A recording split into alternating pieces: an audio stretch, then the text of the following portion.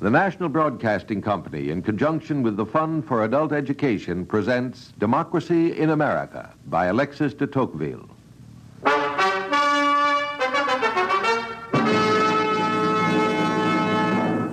What you say, Mr. Governor, surprises me very much. And there are two things I still want to know.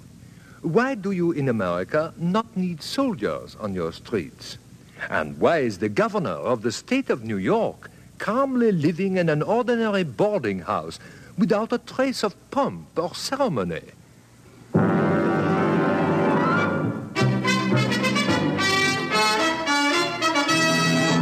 The Governor in the Boarding House, a study in American equality. Item two in the series Democracy in America, prepared by the Division of General Education of New York University under the direction of George Probst, American historian. A series designed to bring to life the America of 1831, as recorded by Alexis de Tocqueville, and so to illuminate the image of democracy itself. A study in American equality. The Governor in the Boarding House.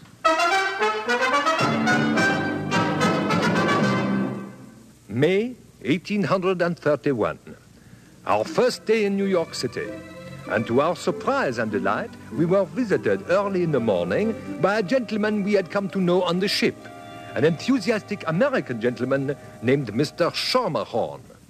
Tocqueville, here is Mr. Schermerhorn to see us. What a pleasant surprise. How kind of you to think of us. Well, you two seem to be important men. Did you see the Mercantile Advertiser, one of the morning papers? No. Well, have a look right here. The Mercantile Advertiser of New York, May 12, 1831.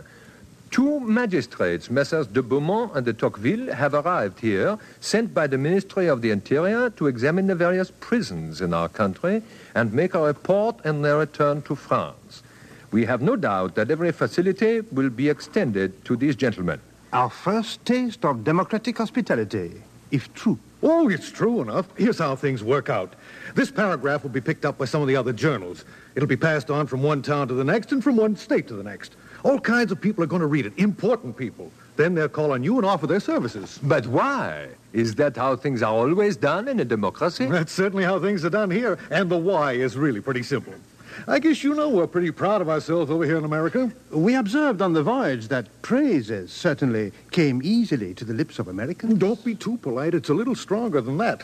Every book that comes out is exalted to the skies. The public orators flatter the people, the people flatter the orators, clergymen praise their flocks, and the flocks stand amazed at the excellence of their clergymen. Well, I want to inquire Sunday about school religion teachers in- admire their pupils, and the scholars magnify their teachers. and here's something you'll find out for yourselves. As far as guests from abroad are concerned, you'll find that you're going to need a dark corner to hide your faces in when everybody starts to praise you. But who will praise us, Mr. Schermerhorn? We are merely two inquisitive young men from France. Why are we praiseworthy? Well, that's what I was coming to. We're boasters, I admit it. We're proud of ourselves, I admit that. Ah. But we aren't all that proud. We haven't been in business long enough yet. Ah, We still aren't quite sure of ourselves. We have a lot of hard things to say about the old world, but even while we're saying them, we're sometimes casting a look out of the corner of our eye to see whether we've really impressed them or not. And you being sent here by your government means you people think we've got something to teach you. Possibly. The new world has got the jump on the old world, and the old world admits it. You- That's why you're going to be flattered and popular. That's why things are going to be easy for you. France is trying to learn something from America. You've heard the old proverb imitation is the sincerest form of flattery, and we reckon your flattery right now is pretty sincere. I begin to understand. This may make our task a little easier, eh, Tocqueville? And now look, in New York City, we get moving early. People will soon be calling on you. You'll get invitations from all over the place. So I want to get in ahead of them. I've arranged for you to see Enos Throop. Oh, This is charming of you, but who is this Mr. Throop? Enos Thompson Throop, sir, is the governor of the state of New York. Governor, this is certainly an honor. Normally, the governor resides in the city of Albany, but he's in New York City right now for the Tammany Society dinner. What is the Tammany Society? We will find out. Uh, no, I've made all the arrangements. Mr. Morse, who's a judge at Cherry Valley, he'll introduce. Morse is a friend of mine. Nice fellow. I've written it down for you. Here's the address.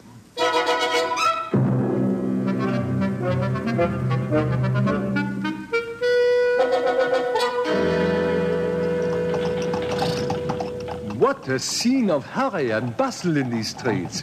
I wonder if all this running is typical of a democracy. You notice everybody overtakes us. I thought myself a lively enough walker, but over here I seem only to dawdle. Why do the citizens of a democracy hurry? How do we know, Tocqueville, these are typical citizens? Elsewhere, things may be very different. This New York is only one city in a vast country. Do not begin, I beg you, to build your theories until you have more facts. Well, they all seem to wear the same clothes. Certainly, there seems to be a great deal of outward equality. All the classes seem to be intermingled. This sort of thing would be preposterous in Paris. I wonder what this Governor Throop is going to be like. I took a few notes. He is 47 years old, formerly a circuit judge. What is a circuit judge, I wonder? And he was only elected governor this year. Do you know what a circuit judge is, Beaumont? Beaumont, Hmm? Oh, oh, forgive my inattention. you are observing the crowds. Uh, yes, but it's not only the people who are here that interest me so much as the ones that are missing. Missing. There are almost no children and no soldiers. No children and no soldiers. If we had walked this far in a French city, we should have seen hundreds of children and dozens of soldiers. Now, where are they? Huh? It will give us something to ask Governor Throop.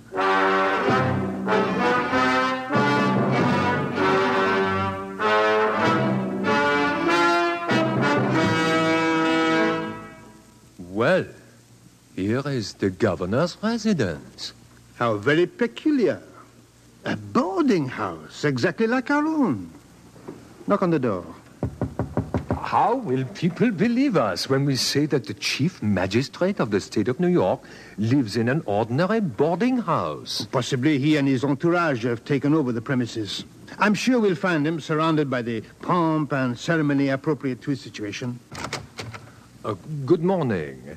Gustave de la Bonninière de Beaumont and Alexis de Tocqueville for an audience with the governor of New York. Permit me to present our credentials from the government of France. You're the two French fellas old Schermerhorn told me about. You're surely welcome. Step right on in and meet the governor. I'm Judge Morse, and I'm real pleased to meet you. It is an honor. Uh, forgive me, I do not know the proper address toward a person in your station. Just call me Judge. Yeah, and shut the door behind you, will you? You just call any man here what you want to call him. But the fancier you call him, the more he'll be pleased. I thought there were no aristocratic titles in a democracy. We've managed to scrape up a few non-aristocratic ones. You couldn't toss a rock out into any street of New York City any hour of the day or night without bringing down at least a colonel. Why, just the other day, I heard tell of a delegation from one of the counties of Florida. There were 18 men in it. Four generals, six colonels, three majors, one ex-governor, one doctor, and one esquire. That left only two fellows that were just people. Uh, here we are. Governor, meet Mr. Tocqueville and Mr. Beaumont. Uh, gentlemen, meet Governor Throop. Delighted to have the honor. Excellency, Excellency. Uh, which of you fellows is which? I am Alexis de Tocqueville, Excellency. And I'm Gustave de Beaumont at your service. Well, that's dandy. Pull up a chair and sit down. You boys seem to have got the American language pretty well licked. We have applied ourselves conscientiously, Excellency. Call the governor Mr. Governor, or he won't know who you're talking to. Forgive us, uh, Mr. Governor. Allow me to offer you some tobacco, gentlemen. Uh, no, thank you, Judge. No, thank you. Oh, you gentlemen don't chew? No? Well, you're quite right. It's a filthy habit. Disgusting. Hand over the plug, Judge, and I'll take a bite. I wish I'd never taken it up. First, excellent, uh, Mr. Governor, let me present my credentials. Huh? I don't need credentials. I read all about you in the papers. Come to look over the prisons. And to see what it is like in a democracy. Well, I'm sure we'll do everything in our power to help you. You, uh, you've been having a little trouble over there in France, I guess. Uh, government's going up and down, things like that. Oh, don't like to say anything. Well, that's smart and patriotic, too. We admire patriots over here. What do you make of us, Mr. Tocqueville? How do you mean? How do you like America? We like it very much. What little we have seen of it. I see you're in the tact and discernment business, too. Well, Everything is so different from France. Uh, even on the streets, there are differences. Uh, where are the children? Children? Why, I guess they'd be in school, wouldn't you say, Judge? Sure. That's where they are. Unless they're playing hooky. All the children are educated. Well, just about as many as we can lay our hands on. We Americans are great believers in public education and self improvement. Did you think we didn't have any children? Well, I thought they might be working in factories or something of the sort. Oh, some of them I guess are, but most will be in school. And also, there are no soldiers. Now, how do you keep up law and order without soldiers? Well, we have soldiers. Every man you see is a soldier. The Constitution of our Union lays it down as a sacred right of every citizen to bear arms. If we ever had need of soldiers, you'd find them springing up all around you. It's happened before, and if it's needed, it'll happen again. Every man fit to bear arms is his own soldier. This I understand, uh, Mr. Governor, although it surprises me. But there is something else about it that surprises me even more. First, why is the governor of the state of New York living in a boarding house without pomp and ceremony? And second, why do you not positively need at least some soldiers on your streets? How does your society hold together without the splendor of the civic arm and the might of the military arm? Well, gentlemen, I'll tell you. It's because we in America have started on a great adventure. I am afraid, Mr. Governor, that I do not understand you. Monsieur de Beaumont and myself, we are on an adventure. Everything we see is full of surprises. like finding the governor of the state of New York in a boarding house? Exactly. Well, it's convenient, that's what it is. If there's one thing that's hard to find nowadays around New York City, it's domestic help. And don't you see, the governor doesn't have to worry about his prestige or anything like that. It doesn't come from himself, you see, it comes from the people. Don't forget this is a democracy. Even if we wish to forget it, Which I assure you we do not. we find it thrust upon us at every point. Well, I guess every country's proud of its native institutions. And I guess we Americans are a little prouder than the average because we figure we really have something to be proud about. I believe we have noticed that. I believe you have, Mr. Tocqueville. I wouldn't be surprised if you haven't been pumped up to the eyebrows with boasting from everyone you've met, myself included. Still, if you're onto a good thing, you want other people to know about it. And you are convinced, Mr. Governor, that this democracy is a good thing? Sure, I'm convinced. Oh, not that it hasn't its uh, bad side, mind you, and Judge Morris here and myself know all about it.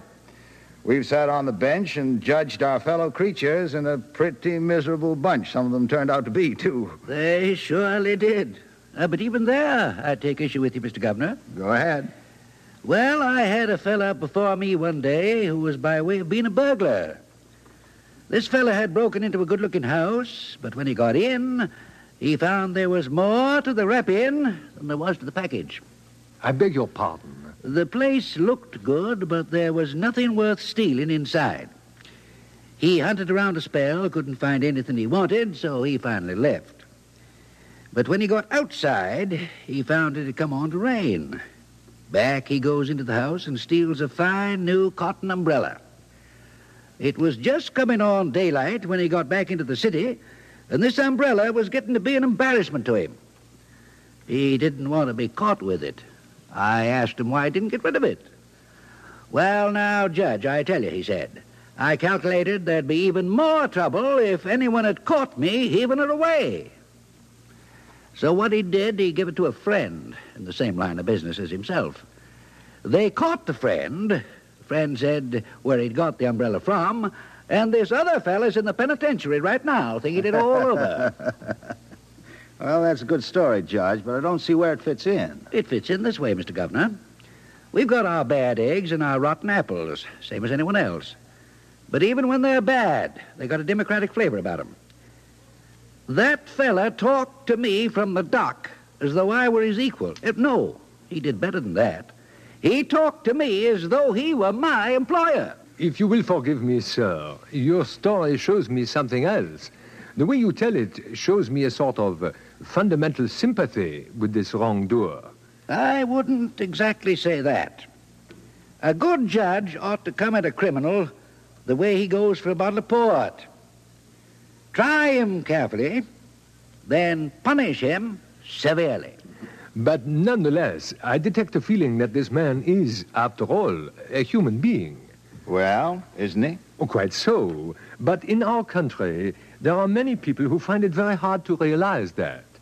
Madame de Sévigné, for instance, she was a brilliant, sensitive woman, but a true aristocrat.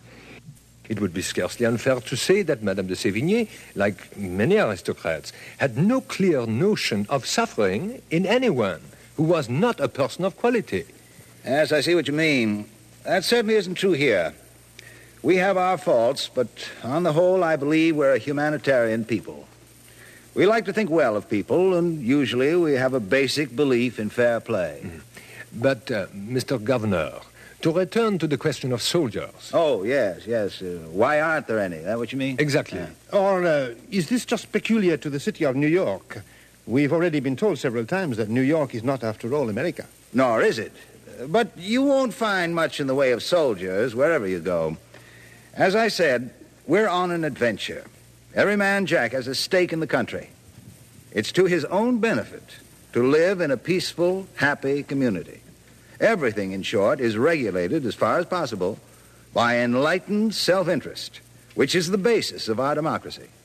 Every man is every man's equal. Every man is every man's associate. Every man is every man's customer. Put your society on those terms, Mr. Tocqueville, and you'll not need the military because you will have extinguished the mob, that body of the poor and depressed who can have no interest in a stability which never steadies them, a settled tranquility which never relaxes them, a prosperity which never touches them. The bond of this mighty continental nation, gentlemen, for to tell you the truth, I don't know whether we're a nation or a continent yet. The bond is commercial liberty. Not mere political liberty, but positive freedom from all the slightest restraints. That is the birthright of this growing country. Is freedom from all restraints wholly good, Mr. Governor? Is anything wholly good, Mr. Tocqueville? I don't know. I'm sure it must have its dark side, and I'm equally sure that this country wants it and that this country's got it. It is a heritage as natural as the air we breathe, whether it sweetens the hard toil of New England or inflates the hot pride of the South. It's always the same brave spirit pervading the same republic. And its influence is not the less powerful because it is everywhere propagated by an animating spirit of dispute. Animating spirit. Ah, you're taking notes, Mr. Tocqueville. I'm glad to see you do it.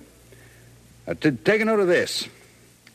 The American people, dispersed over an immense territory, abounding in all the means of commercial greatness, who early found an opportunity of adapting their government to their circumstances. Adapting their government to their Yeah, circumstances. they followed the manifest order of nature when they adopted a constitution which was free, a constitution which was republican, and a constitution which was based on a commercial federation. But, Mr. Governor, was that desirable? Ah, no, sir. I will not comment on its desirability, except to say this. As far as we are concerned, it is infinitely desirable because it was wholly inevitable. Will you uh, forgive me if I speak for a moment of your own country and speak to you privately as a man? We should be honored. Very well, sir. Your country, too, has recently passed through a great revolution, but one which I cannot help feeling has had a very different influence on your destiny. You will forgive the strong language, but I cannot help but remark that the course, and indeed the catastrophe, of the French Revolution has cast a gloom over republicanism which perhaps it may never shake off, and which renders it, in Europe, repulsive and discreditable, at least for the present. But here, sir, is the difference between your revolution and ours. The American Republic is the natural fruit of the American soil. The spirit of freedom may be impassioned, it may be factious, but it is neither furious nor bloody. The strong bonds of union are here and will remain. There is a common language, there are common laws, there are common political attachments, and finally, and above all, there is the great reciprocal bond of common interest. Remember this always, gentlemen. We live on trade. We live by trade, we live for trade. Trade is our life. And I tell you frankly, We all regard the carrying on of trade as something to which a man may honorably devote his whole life. And indeed, while we are talking today, a hundred ships are discharging their cargoes, and a thousand emigrants from all parts of the globe are landing with big hearts and stout hopes to realize their dreams of a free and happy West.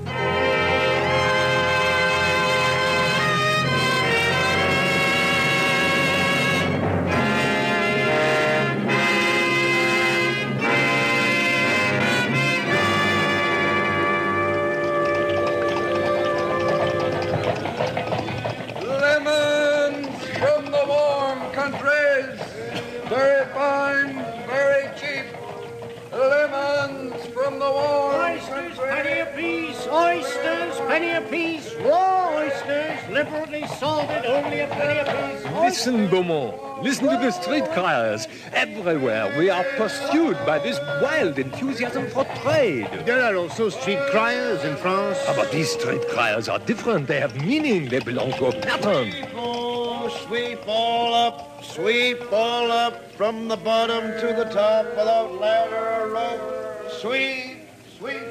You're eyeing that chimney sweep as if he were a future millionaire of this new democracy. Who knows? Perhaps he may be. The governor's ideas have excited you. what we are seeing, Beaumont, is a new world unfolding. Whale oil, fill lamps, fine whale oil. Cattails, cattails to make beds going. Cattails, cattails. Well, she's selling reeds and bulrushes. I will not write down that Americans sometimes sleep on the tails of cats. Look across the street. In front of every shop, there are long boards nailed across two posts with appeals for trade on them. Visit the pleasure railway at Hoboken. Bars, warm, cold, shower and vapor, sulfur and other medicated bars in marble and tin tubs. Tocqueville, stop looking at those silly signs and listen for a moment. Certainly, I'm all ears. Dogs. That is the sound of dogs. Quite so, but what are they doing to them? Look, look down there. There are men running after dogs and killing them with clubs. Let us go and see.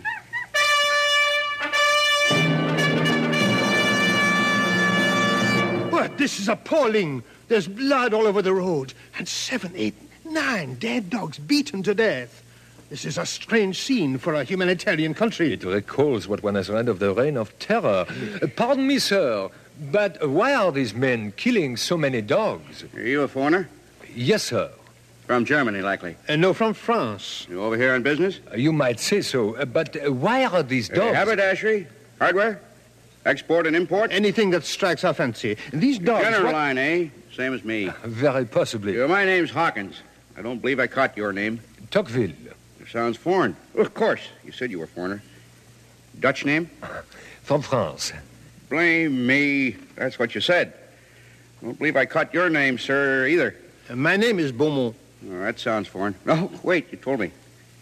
Swedish name? also French. Well, that's refreshing. I'm certainly honored to make the acquaintance. And now, what can I do for you? Why are all those men killing all those dogs? Why, they're the city dog killers. What else would you expect them to do? This, then, is their job? Around here, there are too many dogs. They just run wild in the streets. You got to do something about them.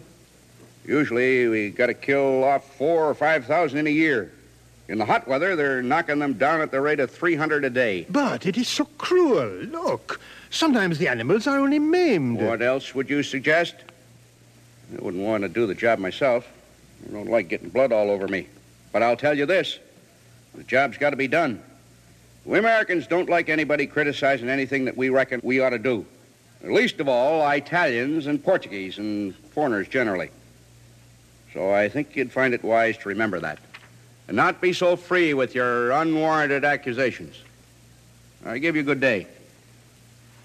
Well, Evidently, an American Democrat can be just as sensitive and touchy as a European aristocrat. But the European boasts of what his country is, the American of what it does. Let us leave this shambles. Already I can see it's not going to be very easy to understand this country. More noise. There is a band now. Surely the streets of New York must be the noisiest and busiest in the world. And yet, for all their bustle and prosperity, I feel all the time that we are walking about in a city which is nothing but one gigantic suburb. There they go, across the end of the street. Flags, banners, bands. What can all this be? Three cheers for the clockmakers!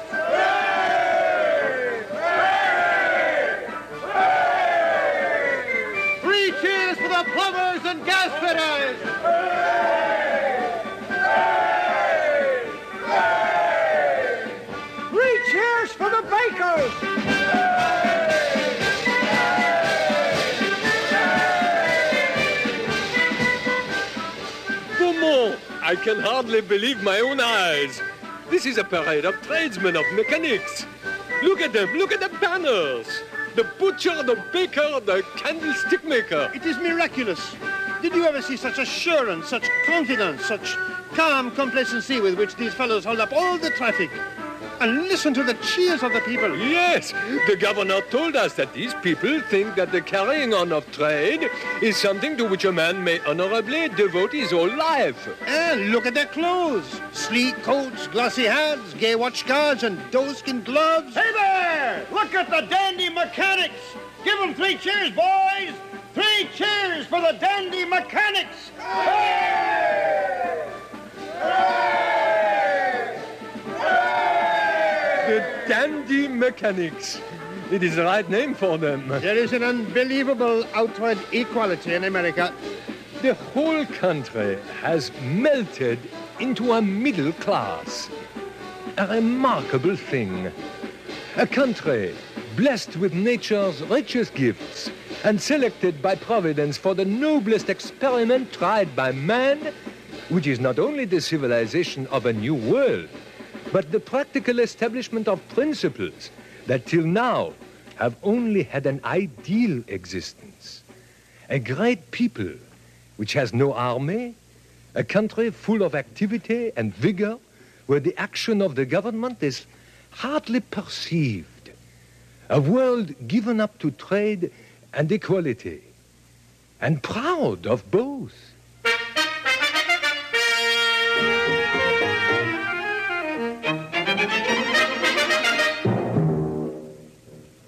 You have just heard The Governor in the Boarding House, a study in American equality, item two, in a series based on Alexis de Tocqueville's Democracy in America. This series, presented by the National Broadcasting Company, was prepared by the Division of General Education of New York University under the direction of George Probst, American historian.